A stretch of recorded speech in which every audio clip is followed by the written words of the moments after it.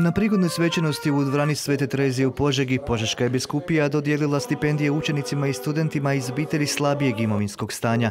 Stipendije je dobilo njih 150. Višegodišnja je to tradicija pred blagdan Svete Terezije Avilske su zaštitnice Požeške biskupije. Istaknuo je tom prigodom Požeški biskup. Požeška biskupija i ove godine iz svoga e, proračuna izdvojila negdje oko 550 tisuća kuna i u okviru toga je rasporedila i broj onih koji su molili stipendiju.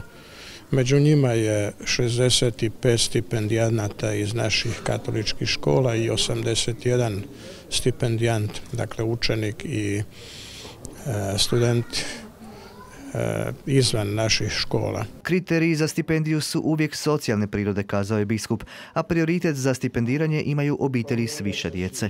Ali svakako je jedan od kriterija i uspješnost u školovanju. Naravno, mi ne želimo ostati samo na razini materijalnoj, financijskoj, nego je tu ponajprije pristup osobi, čovjeku, mladom čovjeku, koji treba osjetiti da nije prepušten samom sebi u situaciji obiteljskoga ili šireg života, nego da postoji najprije društvena zajednica, a onda da postoji crkva koja nastoji svjedočiti svoju osjetljivost i na razini najprije toj ljudskoj, ljudske blizine, ljudske potpore, a onda i materijalnoj okviru svojih mogućnosti.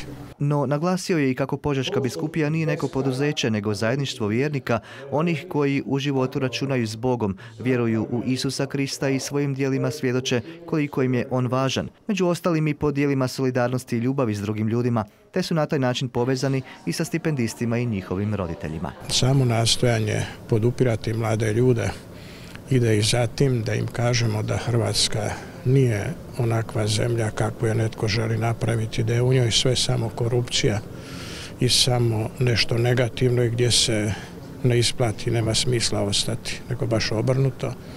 Hrvatska je zemlja u kojoj se može dostojno kao čovjek živjeti, ali zajedničkim našim zauzimanjem.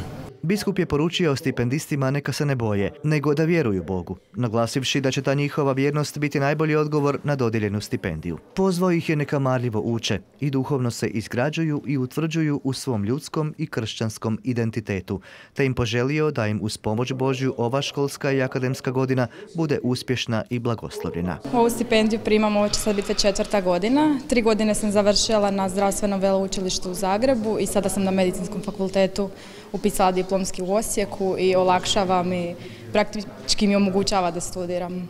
E, idem u srednju školu, petu gimnaziju u Zagreb i živim u učeničkom domu.